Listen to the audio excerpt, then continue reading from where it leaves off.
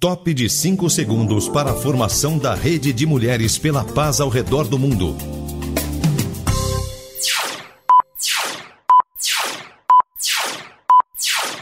Dedicatória. A mais ucraniana das mulheres do Brasil. Clarice Lispector, a escritora que entre os anos de 1944 e 45 foi voluntária no hospital que recebia os feridos da Força Expedicionária Brasileira FEB na Itália durante a Segunda Guerra Mundial. Visito diariamente todos os doentes. Dou o que eles precisam. Converso, discuto com a administração pedindo coisas, enfim, sou formidável. Vou lá todas as manhãs e, quando sou obrigada a faltar, fico aborrecida. Tanto os doentes já me esperam, tanto eu mesma tenho saudade deles. Aí então, Escritos de Guerra de Clarice Lispector para o amigo escritor e pintor Lúcio Cardoso.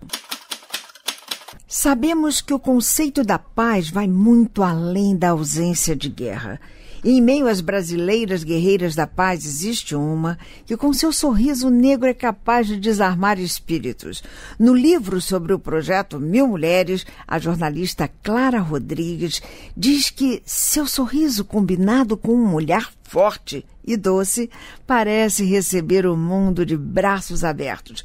E esses braços, transformados em asas, são capazes de nos fazer alçar voo rumo à liberdade. Seja muito bem-vinda, Zezé Mota. Oi, oh, querida, prazer em falar com você novamente. Quanto tempo, que saudades. Poxa, muita. Prazer é todo nosso contar, inclusive, com sua voz na série Mulheres pela Paz. Essa ideia tem na figura da mais ucraniana das mulheres do Brasil sua expressão maior Viva Clarice Lispector e viva você, minha querida Zezé Mota, que tem o privilégio de habitar o mesmo espaço físico onde a Clarice viveu até o fim de seus dias. Eu queria que você falasse um pouquinho do seu encantamento por esse apartamento aí no Leme. Queria saber se tem algum cantinho especial, algum elemento que faça você se sentir em paz. Então, Mara, foi uma sorte que eu tive, assim, eu estava procurando um apartamento isso já lá se vão nove anos e de repente eu morava em Ipanema há 40 anos falei não agora eu quero um lugar mais sossegadinho adoro Ipanema mas e comecei a procurar apartamentos no Leme. Eu, devo ter visto no mínimo uns seis apartamentos por aqui ou mais e de repente cheguei aqui, me encantei por esse apartamento. E quando eu estava descendo, né, que fica na Gustavo Sampaio, ao lado do Leme Tênis Clube, quando eu estava descendo, eu falei para o corretor, por favor, não mostre esse apartamento para mais ninguém. Eu gostei de, muito dele, ele me atende perfeitamente, o espaço é perfeito, a localização. E aí ele disse, não, pode deixar, vou reservar para a senhora. Considere que esse novo espaço já vai ser sua nova residência. E quando eu estava descendo, ele falou: Ah, e tem uma vantagem. Aqui morou Clarice Lispector. Nossa! E ele me mostrou, tem uma placa aqui no prédio, né? Hum. Que ela viveu aqui de 1960 a 1970. Aí eu quase tive um treco. Eu falei, não acredito.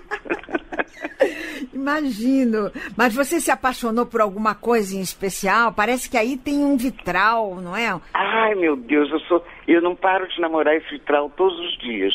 Tem um vitral lindo e o meu cantinho predileto é ficar sentada no sofá da sala, namorando o vitralzinho que dá para uma areazinha, enfim, enfim, dá para uma janela de frente da rua, né? E é muito bonitinho aqui, muito simpático. Agora estou reformando pela primeira vez. Ah, é? é. Que bom.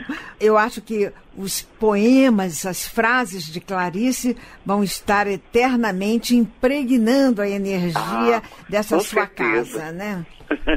Certeza. Pois é. Agora, a partir dos escritos de guerra, na correspondência que a Clarice trocou com seus amigos e familiares entre os anos uhum. de 1944 e 46, durante a Segunda Guerra Mundial, a gente sabe que ela se voluntariou como enfermeira. Você sabia disso, que ela serviu à Olha, guerra? não. Então, eu queria agora, num exercício de imaginação, se fosse hoje, Uhum. diante da guerra entre a Rússia e a Ucrânia, que papel Nossa, você que acha incrível. que a Clarice poderia ter nesse conflito? Ela estaria com mais idade, mas pela energia né, que ela tinha, ela não ia ficar de braços cruzados de jeito nenhum. Eu não sei qual seria a função que ela. Ia exercer, Nossa, né? fiquei emocionada agora de saber disso. Que coisa incrível. Incrível mesmo, né? É. Agora, no livro sobre o projeto responsável pela nossa indicação ao Nobel da Paz em 2005, Uhum. você disse que paz é diminuir desigualdades em todos os sentidos. De que forma Uhum. você continua na luta pela concretização desse ideal? Olha, ontem mesmo estava falando sobre isso. A gente, por mais que, que seja difícil a luta, os caminhos sejam espinhosos, a gente não pode eh, desistir, senão fica pior. Na minha situação, eu aproveitaria os meios de comunicação que eu tenho acesso, né, a mídia, e que eu tenho bastante espaço, para convocar todo mundo para essa luta sem fim, que é a desigualdade é uma coisa perversa, cruel, né? E Eu acho que eu usaria as armas que eu uso hoje, mas com mais frequência, com mais, enfim, que é a palavra, né? Enfim, E a palavra é paz. Muito nos honra. Essa indicação nossa para o Nobel foi uma coisa muito bonita, né? nossa, emocionante. Sim. Meu Deus. Quando eu penso que eu faço, que eu faço parte, eu sempre me emociono e, sabe, muito e, lindo, né? e sou muito grata. Queria que você deixasse no ar uma palavra às mulheres ucranianas que nesse momento estão no tormento, no horror dessa guerra que parece que não tem fim, e a todas as refugiadas de guerra, seja lá na Síria, nos países africanos como o Congo, Sudão, Nigéria e até o Afeganistão, no Oriente Médio. Queria que você fizesse uma saudação a essas mulheres, de, de alguma forma fizesse chegar sua energia até elas. Amada, eu gostaria de fazer essa saudação em forma musical. Abre as asas sobre mim, ó Senhora Liberdade. Eu fui condenado sem merecimento por um sentimento, por uma paixão, violenta emoção. Pois amar foi meu delito, mas foi um sonho tão bonito. Hoje estou no fim, Senhora Liberdade, abre as asas sobre mim. Não estamos no fim, Senhora Liberdade, abre as asas sobre mim, abre as asas sobre nós. Ah, Senhora Liberdade, uma das 52 brasileiras guerreiras da paz. Albertina Duarte, Alzira Rufino, Ana Maria Machado, Ana Montenegro, Benedita da Silva, Concita Maia, Creuza Maria, Eliane Potiguara, Elizabeth Teixeira, Elza Bercó, Eusita Santa Cruz, Eva Blay, Fátima Oliveira, Givânia Maria, Eleiete Safiotti, Helena Greco, Eloneida Studart, Hilda Dias, Joênia Batista, Jaqueline Pitangui, Jurema Batista, Lair Guerra, Leila Linhares, Lenira Maria, Luci Choinac, Luísa Erundina, Maninha Chucucu, você, Mara Régia, eu e Margarida Genevoar, Maria Amélia Teles, Maria Berenice, Maria José Amazé, Maria José Rosado, Marina Silva, Maria Estela, Maiana Zax, Moema Vieser, Niede Guidon, Nilza Iraci, Procópia dos Santos Rosa, Raimunda Gomes da Silva,